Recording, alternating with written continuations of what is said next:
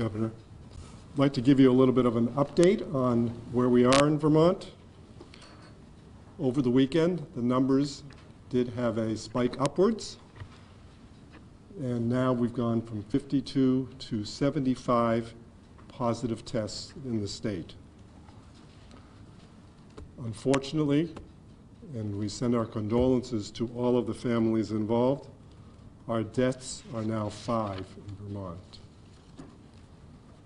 There were three additional deaths over the weekend, all relating to the outbreak at Burlington Health and Rehab.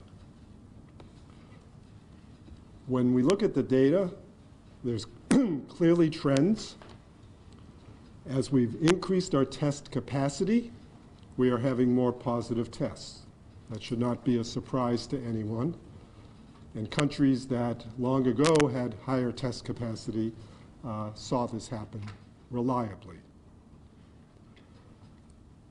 Many of our tests, other than those that we've termed the highest priority, which remain in our state public health lab and have a rapid turnaround time, many of our tests are now sent out to commercial labs.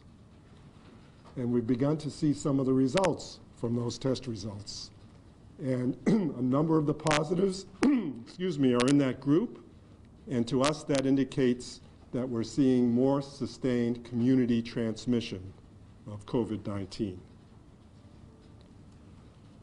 Since I know I'll be asked about this, I thought I'd give you a brief update on the situation at Burlington Health and Rehab.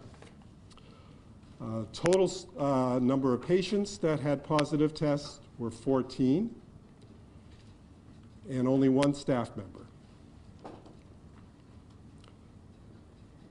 We've been actually doing a lot of uh, proactive additional steps to bolster what the facility in reality is and was already doing. And we found no fault in their infection control practices or procedures. We've advised them on them. We've observed them. There are various aspects of how they cohort and uh, separate patients with different risks and different test results, and they're uh, doing that very well.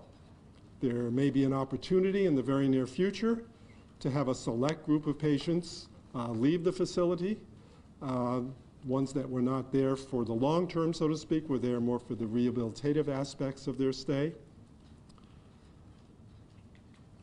Staff are all being asked and required as our, as our own staff have found out, to have their temperature checked as they go into the facility. And obviously, if they have a fever of any sort, they don't go to work then.